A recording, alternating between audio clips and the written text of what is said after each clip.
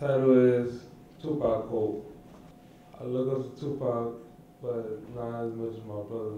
My brother told me how to ride a bike, how to fight. He never told me all my moves, but he didn't teach me everything. You know, he knows that. He didn't teach me how to fish. He didn't teach me how to kickbox.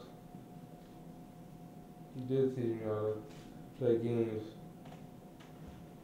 He did teach me how to me that no matter what, family is and will be important. God bless my brother Earl.